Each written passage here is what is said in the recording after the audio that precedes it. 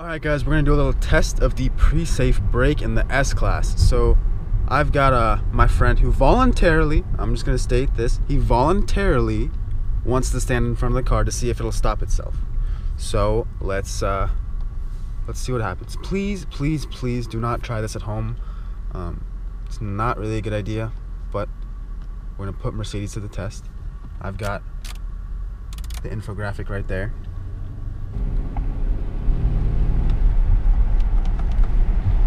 Okay, Distronic is set at 20 miles an hour.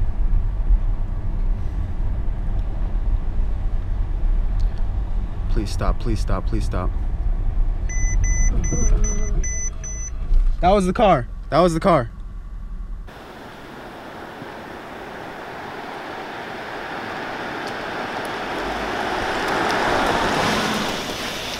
That was the car. That was the car.